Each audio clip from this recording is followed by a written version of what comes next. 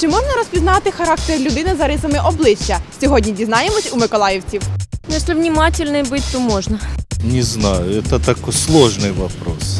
Ну, я думаю, что да, но, возможно, немножко можно узнать, конечно. Полностью я же не специалист в этом вопросе.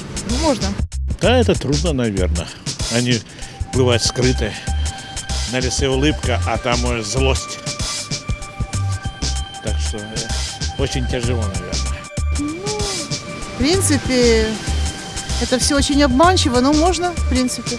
Это сложный вопрос. Скорее всего, по его поведению. Да.